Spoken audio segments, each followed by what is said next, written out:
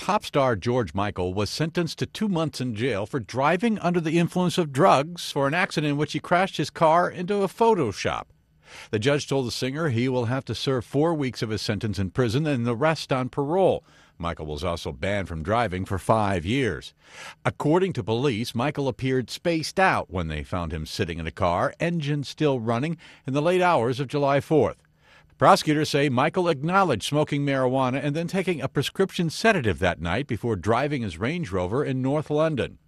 His attorney said the singer felt profound shame and horror at his actions. The incident was the latest in a string of automotive mishaps for the 47 year old star. In February 2006, he was found slumped at the wheel of his car at London's Hyde Park corner. Two months later, he hit three parked cars while trying to get out of a parking space. Then in October of that same year, he was found slumped over the wheel of his car, blocking an intersection. The judge said at Tuesday's sentencing that his previous convictions made a prison sentence inevitable. Tim McGuire, The Associated Press.